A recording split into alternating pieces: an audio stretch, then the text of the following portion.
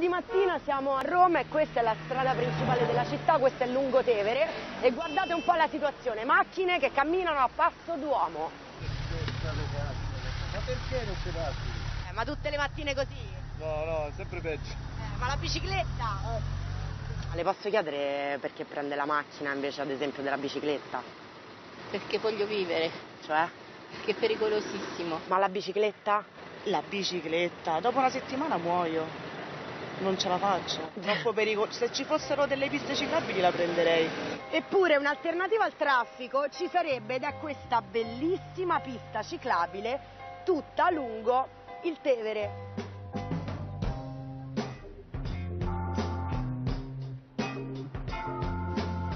Pensate, sono 35 km di pista ciclabile, una delle più grandi della città.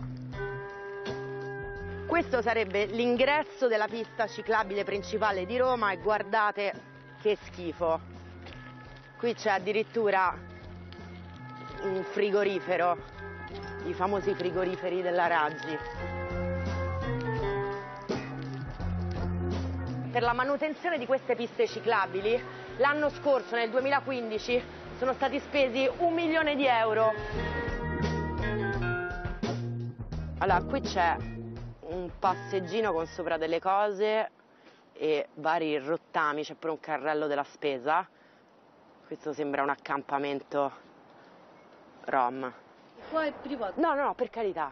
E Stiamo qua da dieci anni, siamo tranquilli, non disturbiamo nessuno, è tutto a posto qua. Po- posso solo vedere il fiume? No, no, solo il fiume voglio vedere. Non voglio... Detto no, qua no. È un macello, eh. Dice che ci spendono un milione su queste piste. Eh, I sono anni che non ci fanno niente. niente. Niente, niente. Eppure questa potrebbe essere una delle piste più belle d'Italia. Guardi, Guardi. qua. Io ero ragazzino, abitavo a Roma. E le tasse non esistevano. Ah, La mondezza non si pagava. L'acqua non si pagava. La televisione non si pagava. L'assicurazione della macchina non si pagava. Funzionava tutto. Qui paghi tutto, pure l'aria che respiri. Non funziona non niente. funziona niente. L'unica cosa che c'è rimasta è la speranza. La speranza. È l'ultima a morire.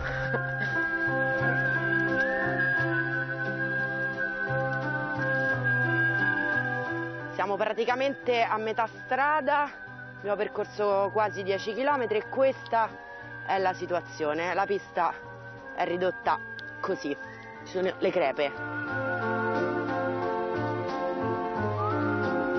Attenzione a rallentare.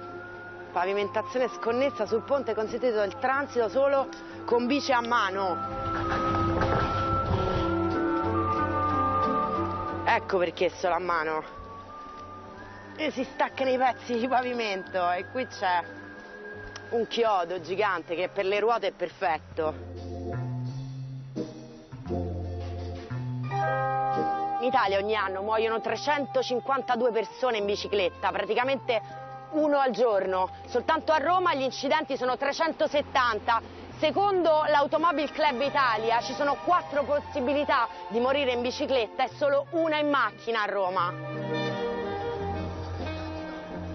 Questo è il cavalcavia di Tor di Quinto, quindi questo è verso il centro e guardate che schifo c'è qua. C'è un gabinetto là. Qua ci sta un materasso, calcinacci, buste, qui c'è un altro materasso. Questa è la zona verde intorno alla pista ciclabile. Un ammasso di calcinacci. Guarda che schifezza. Questo è tutto vetro, tutto vetro. Qui c'è un accampamento. Buongiorno, c'è nessuno? C'è nessuno. Questo è il bagno di questa casetta. Vista Tevere.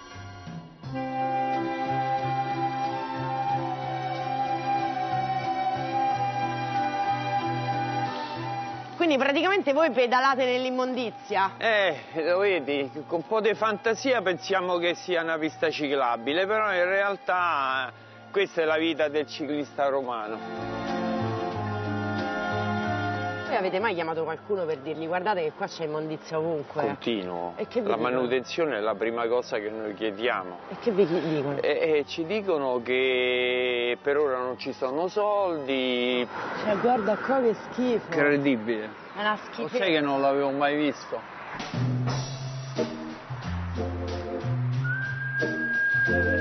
Cucine, eh, scaldabagni, reti per il letto. Cioè, ma perché buttate l'immondizia là che c'è il Tevere poi? Cioè, va a finire tutto nell'acqua del Tevere, scusate. Poi qua c'è la pista Tenetelo ciclabile. lontani dal Tevere almeno. Tanto noi, E chi l'ha buttato? come stai tu? Guarda qua. Questo è un altro insediamento di Rom. Lei che ha viaggiato tanto anche in bicicletta, eh. ma mi dice qual è la differenza fra Roma e le città europee? Esistono le norme della strada come qua, però lì le rispettano e qui no. Eh, quindi è una questione di inciviltà dei romani. Di educazione Eh. e di controlli. Ma c'è una macchina, ma è normale? Due ce ne sono addirittura. Ma lei ci può andare con la macchina sulla ciclabile? Abbiamo il permesso. Ah, veramente? Il permesso perché questa prima di essere pista ciclabile era un punto che dava accesso a tutta questa parte dei terreni che stanno Sì. sotto che sono privati. Pensi un po', quindi eh, si sono inventati una ciclabile multiuso, diciamo.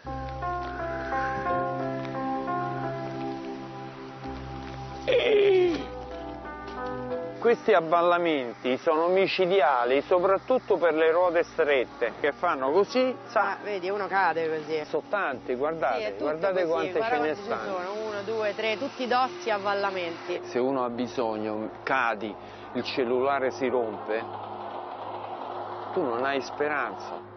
E allora hanno messo queste telecamere, queste poi SOS. ecco, Cioè, questa sarebbe richiesta di soccorso, quindi se Proviamo, proviamo, oh, proviamo a vedere Vediamo che succede se io suono. che succede.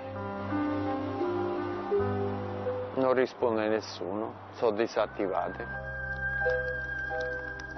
E qui è successo l'incidente più grave perché un signore si è fatto una bella passeggiata sulla pista, sono usciti fuori da queste canne, gli hanno dato una bella botta in testa, l'hanno stramortito, quindi non è morto Cioè, mentre andava in colpo. bicicletta? Mentre andava in bicicletta fermato. e lui è morto dopo un mesetto, Ho capito. purtroppo. Siamo in balia di tutti, Lei ha perso qualche amico? ne ho persi tanti, no uno, tanti. Marco, 8 ottobre 2016, morto ammazzato dalla noncuranza da chi deve tutelare il diritto di vivere e spostarsi in bicicletta. Le canne arrivavano fino a qua. Lui, Porello, non vedeva neanche quei 20 metri. Quindi lui praticamente è arrivato da questa strada qua, aveva la Lui- vista lui veniva oscurata. tranquillo da qui, arrivato qui, così eh, si è trovato, Si è, trovato il, è arrivato il camion dalla destra e quindi lui ha frenato. ha frenato così. Si è cappottato. Eh, È questo è, il proprio camion. così, è proprio così. È andata proprio così. Eh? Che vuoi fare? È la vita, poi così giovane, due figli, Quanti anni aveva?